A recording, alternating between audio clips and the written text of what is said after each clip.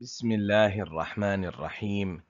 الحمد لله رب العالمين والصلاة والسلام على أشرف الأنبياء والمرسلين. أما بعد أحبابنا طلاب الصف السابع السلام عليكم ورحمة الله تعالى وبركاته وأهلا وسهلا بكم في درس من دروس التربية الإسلامية بعنوان حفظ سورة المدثر من الآية الثامنة عشرة وحتى الآية الواحدة والثلاثين فحياكم الله. أحبابنا الطلاب نبتدئ معكم بتبيين أهداف الدرس. فيتوقع من الطالب في نهاية الحصة أن يتلو الآيات تلاوة صحيحة وأن يستنبط معاني المفردات وأن يحفظ الآيات الكريمة حفظا متقنا فهيا بنا إلى الدرس. وقبل أن نبتدئ بدرس هذا اليوم سنراجع ما تعلمناه في الدرس السابق. قال الله تعالى يا أيها المدثر قم فأنذر. والمطلوب منك عزيزي الطالب أن توقف الفيديو وتسمع الآيات الكريمة من الآية الأولى وحتى الآية السابعة عشرة كما تعلمت في الدرس السابق. أحسنت عزيزي الطالب على التسميع وبارك الله فيك. والآن ما معنى قوله تعالى المدثر؟ هيا استذكر. بارك الله فيك. ممتاز. معناها المتغشي والملتف بثيابه وهو النبي صلى الله عليه وعلى آله وصحبه وسلم. هنيئا لقارئ القرآن. فقد صح عن النبي صلى الله عليه وسلم أنه قال يقال لقارئ القرآن اقرأ وارتق ورتل كما كنت ترتل في الدنيا فإن منزلتك عند آخر آية تقرأها. والآن سنستمع لآيات الحفظ. حتى نرتقي في الجنة إن شاء الله. ولنستشعر قوله تعالى وإذا قرئ القرآن فاستمعوا له فاستمعوا له وأنصتوا لعلكم ترحمون. أعوذ بالله من الشيطان الرجيم. إنه فكر وقدر فقتل كيف قدر ثم قتل كيف قدر ثم نظر ثم عبس وبسر ثم أدبر واستكبر. فقال إن هذا إلا سحر يؤثر إن هذا إلا قول البشر سأصليه سقر وما أدراك ما سقر لا تبقي ولا تذر لواحة للبشر عليها تسعة عشر وما جعلنا أصحاب النار إلا ملائكة وما جعلنا عدتهم إلا فتنة للذين كفروا ليستيقن الذين أوتوا الكتاب ليستيقن الذين أوتوا الكتاب ويزداد الذين آمنوا إيمانا ولا يرتاب الذين أوتوا الكتاب والمؤمنون وليقول الذين في قلوبهم مرض والكافرون وليقول الذين في قلوبهم مرض والكافرون ماذا أراد الله بهذا مثلا كذلك يضل الله من يشاء ويهدي من يشاء وما يعلم جنود ربك الا هو وما هي الا ذكرى للبشر احسن الله اليكم على حسن الاستماع للايات الكريمه. والآن عزيزي الطالب أوقف الفيديو وقم بتلاوة الآيات الكريمة كما استمعت من القارئ.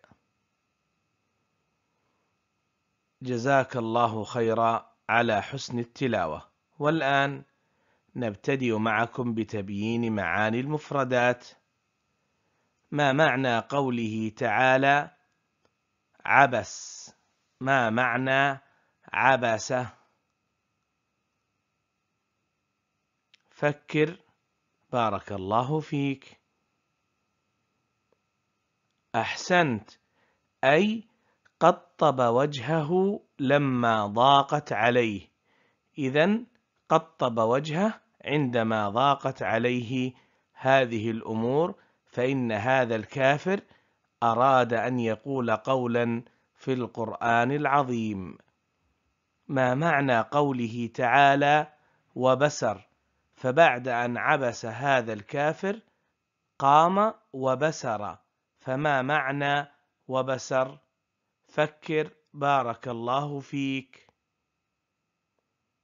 ممتاز. أي قطب وجهه وتغير لونه كرها. أصابه تغير الوجه مع التقطيب. ما معنى قوله تعالى أدبر؟ أحسنت. أي ولى وذهب. ولى وذهب. ننتقل إلى قوله تعالى سأصليه سقر ما معناها؟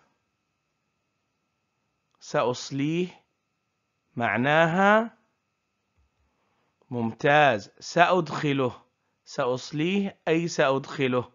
فالله سبحانه وتعالى سيدخل هذا الكافر الذي عبس وبسر وأدبر واستكبر سيدخله سقر.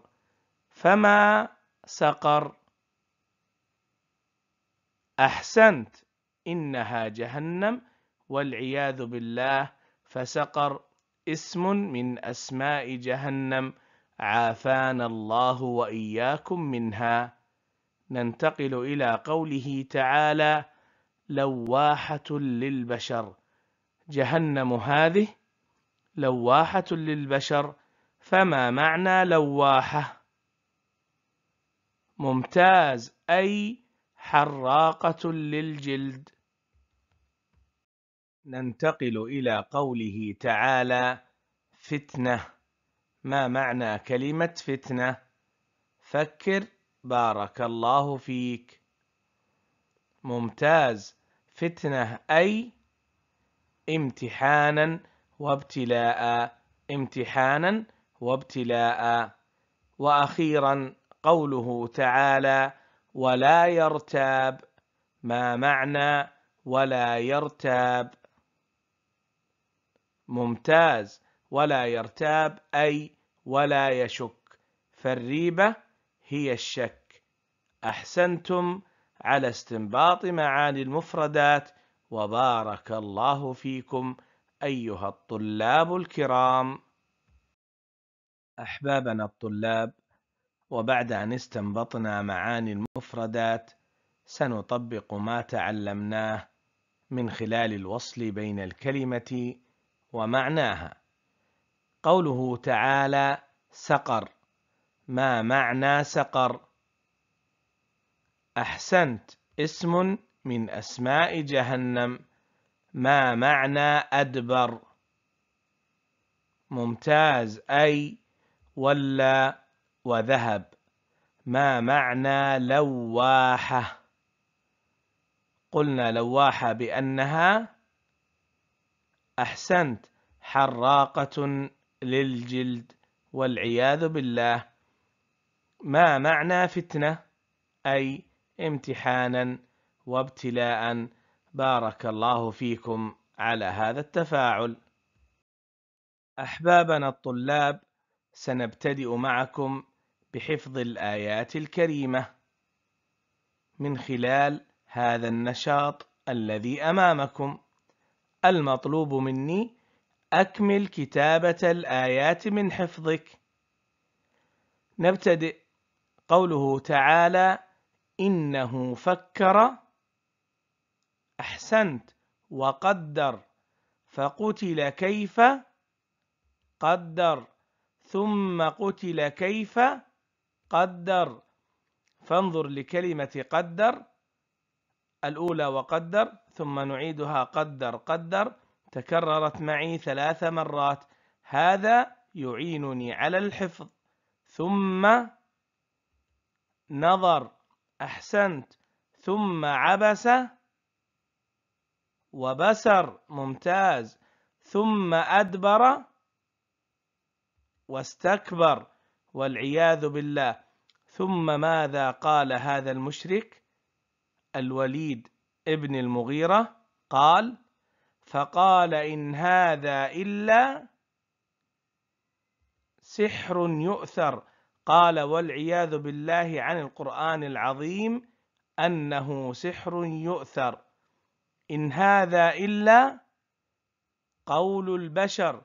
زعم الوليد أن القرآن قول البشر وهو يعلم أنه قول الله سبحانه وتعالى.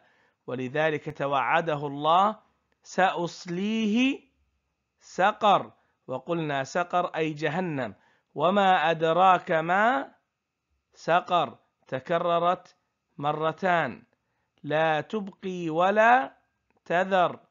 لواحة لواحة للبشر أحسنت عليها كم العدد من الملائكة؟ أحسنت تسعة عشر. وبارك الله فيكم على هذا التفاعل وجعلكم الله ممن يحفظ كتابه ويعمل به. أحبابنا الطلاب وبعد الاستماع إلى التلاوة ومحاولة الحفظ قم عزيزي الطالب بحفظ الآيات الكريمة كاملة وتسميعها على أحد أفراد أسرتك حتى تتأكد من إتقان التلاوة والحفظ. ثم إذا ذهبت إلى المدرسة فسمع الآيات لمعلمك حتى يصحح لك التلاوة والحفظ. وبارك الله فيكم على هذا التفاعل الرائع. أعزائنا الطلاب وها قد وصلنا معكم إلى ختام الفيديو فنقول لكم شكرا على حسن إصغائكم واستماعكم ولعلنا نلتقيكم في المرات القادمة فنقول لكم السلام عليكم ورحمة الله تعالى وبركاته.